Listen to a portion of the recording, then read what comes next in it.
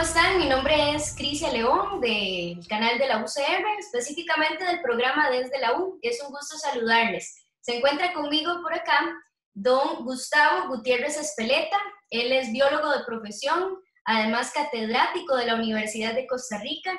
Su especialidad específicamente es la genética humana y la genética de la conservación de los animales silvestres y él tiene un doctorado en genética en la Universidad Estatal de Arizona. Un gusto saludarle, don Gustavo.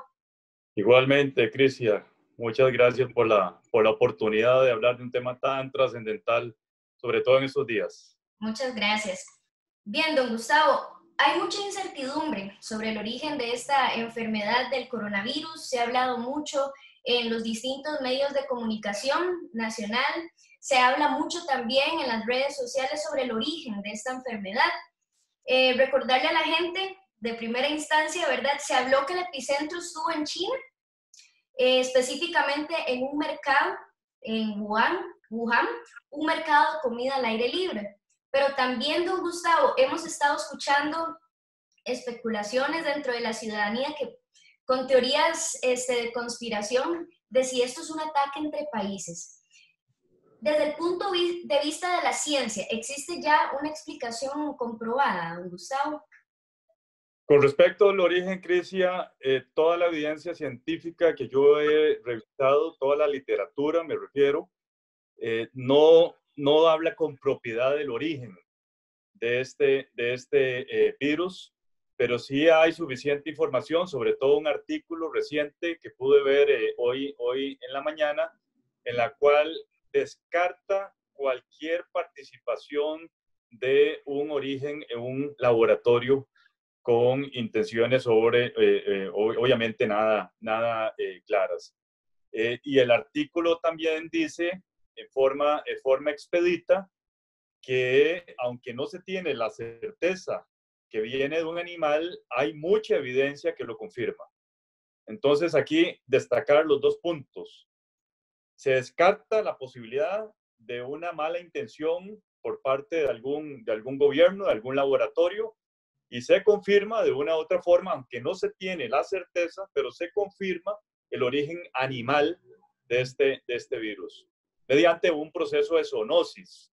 Zoonosis es todas estas enfermedades que fácilmente son, eh, eh, hacen un salto entre los animales y los seres humanos.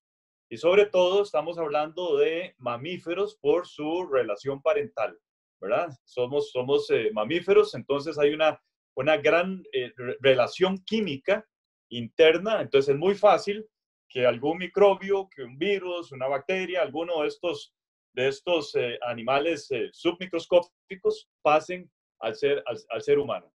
Entonces, don Gustavo, se descarta totalmente este, que haya sido una invención humana propiamente. El, el artículo, lo interesante, como le digo, es muy reciente, es de, del día de hoy, Crisia, descarta cualquier posibilidad que haya sido elaborado en un, en un laboratorio, como usted, usted, supo que hubo una gran polémica en días, en días pasados eh, achacándole a, ciertos gobiernos de, Asia esa, esa posibilidad. Don Gustavo, ahora se ha hablado que pudo haber sido el murciélago, el huésped de este virus. También se habla de otro mamífero llamado pangolín. ¿Esto es así? Eh, como, le, como le dije, al día de hoy no se tiene certeza. O sea, sería lindísimo poder encontrar exactamente un animal infectado con este mismo virus. Eh, no, ese origen no se tiene. O sea, el artículo destaca claramente, aunque suponemos o hay suficiente evidencia que esto eh, fue así, no podemos asegurarlo. ¿Cómo fue lo del SARS en el 2004? Ahí sí se pudo eh, comprobar, ¿verdad?, que el SARS eh, dio un salto a los humanos a partir de eh, mercados de, animales silvestres en distintos lugares de, China. Entonces, una de las cosas que uno, que uno se pregunta, Crisia, que, es, que es interesante, ¿por qué en esa oportunidad, en ese momento, no se cerraron de forma inmediata y permanente los mercados en China? ¿Verdad? Eh, no, no, fue, no, fue suficiente esa, esa, esa, experiencia en el 2004 y lamentablemente llegamos al, al, al COVID-19, ¿verdad? Recuerden que esto, esto apareció en diciembre en Wuhan, como, como bien lo, lo, lo dijiste, eh, y, y, las consecuencias tan lamentables que ha tenido globalmente. Don Gustavo, ¿cree usted que el consumo de animales silvestres podría exponernos ante una pandemia similar a esta? ¿Qué cuidados debemos tener? Sin, sin lugar a dudas, Crisia, eso también está eh, bien demostrado y de ahí mi posición eh, tajante, que es, es una necesidad imperante prohibir el comercio de vida silvestre a escala global, por encima de culturas, ¿verdad? Que, es, es, entendible que esto eh, se dio y se practicó en, en, ciertas culturas asiáticas y africanas, pero por encima de todas esas tradiciones, el consumo de carne de origen silvestre, me refiero a animales silvestres, también de la medicina tradicional, debe de prohibirse en forma inmediata y permanente a nivel, a nivel eh, mundial. Eh, estamos apenas pasando la fase 1 de esta, de esta pandemia y ya perfectamente podemos estar pensando en un siguiente, en un siguiente eh, virus, ¿verdad? Que puede estar muy pronto generando una reacción similar a la que tenemos frente al, al COVID-19. Don Gustavo, ¿cómo está Costa Rica con respecto a este tema? Específicamente, cuando hablamos de animales de vida silvestre, ¿podría darnos ejemplo de qué tipo de animales, por ejemplo, estamos consumiendo los costarricenses que nos podría poner ante un eventual riesgo? Como conservacionista, Crisia, yo quisiera responderle de que ese problema no lo tenemos en Costa Rica, pero no es real debo de aceptarle que sí tenemos consumo de, de, ciertas carnes de fauna eh, silvestre. Por ejemplo. Le puedo, mencionar la tortuga verde, le puedo mencionar iguanas, eh, en, en, términos de mamíferos, el tepescuintle, eh, los armadillos, venados, saínos, chanchos de monte.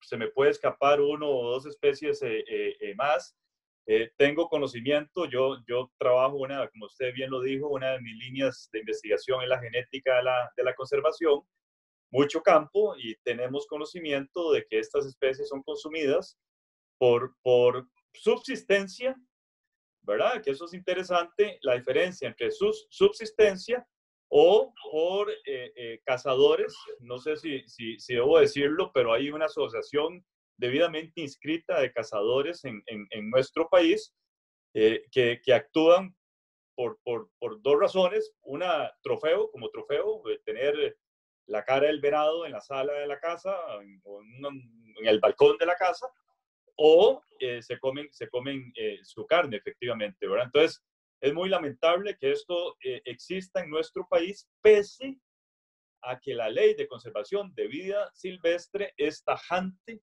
en este sentido. O sea, lo prohíbe fuertemente, ¿verdad? Con, con, con penas, con penas eh, eh, altas incluso, pero eh, se hace caso, caso omiso.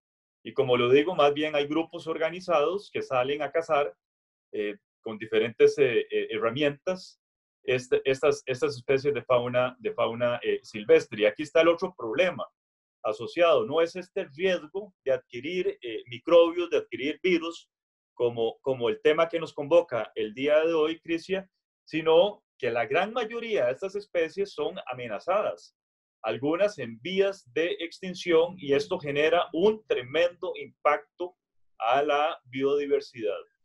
¿verdad? Yo siempre, yo siempre he dicho, y, yo creo que eso es eh, eh, fácil de, de, comprobar, nuestra, nuestro turismo o el turismo que recibe Costa Rica fundamental bien, en mente viene a ver eh, naturaleza, ¿verdad? Y esto evidentemente que tiene, tiene, va a tener a, muy corto plazo, de no tomarse las medidas, las medidas eh, preventivas, va a tener un impacto eh, económico. Bueno, ya lo estamos viendo con el COVID, cero turismo en este momento, ¿verdad? Y todo el, el, la línea de, de, de, de, empleados que se les ha, se les ha cortado el, nombramiento, o, se les ha bajado la jornada eh, eh, eh, laboral, todas las consecuencias que esto tiene.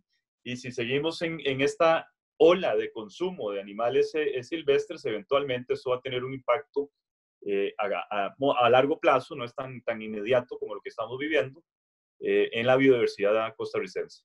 Precisamente aquí, don Gustavo, tengo yo el artículo que prohíbe el comercio de estos animales para consumos humanos y es el artículo 4 de la Ley de Vida Silvestre que dice la producción, manejo, extracción, comercialización, industrialización y uso del material genético de la flora y fauna silvestre, sus partes, productos y subproductos se declaran de interés público y patrimonio nacional. Entonces es eh, castigado, me dice usted, todo este tipo de cosas.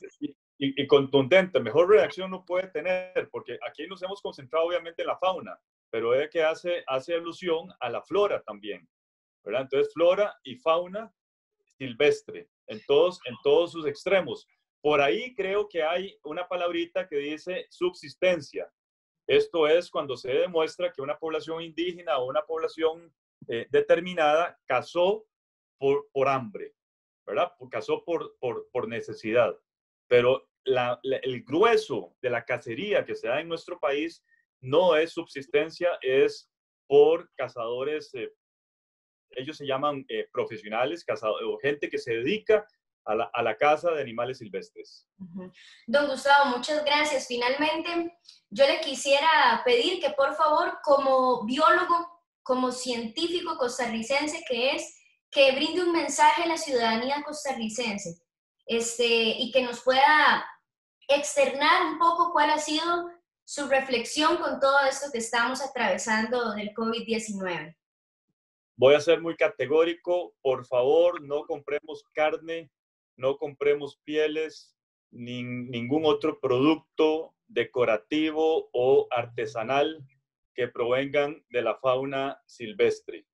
Solo tomando medidas extremas a nivel mundial con respecto al comercio de fauna silvestre, lograremos evitar futuras pandemias, así como la desaparición de muchas especies de animales. El mensaje contundente es paremos esta práctica del consumo de fauna silvestre en nuestro país y a nivel, y a nivel mundial. Perfecto. Muchísimas gracias, don Gustavo. Y a ustedes les recordamos que conversamos con don Gustavo Gutiérrez Espeleta, especialista en genética humana y en genética de la conservación de los animales silvestres. Muchas gracias por habernos acompañado y les reiteramos, por favor, hacer caso a los lineamientos que nuestras autoridades gubernamentales nos están señalando día con día. Muchas gracias.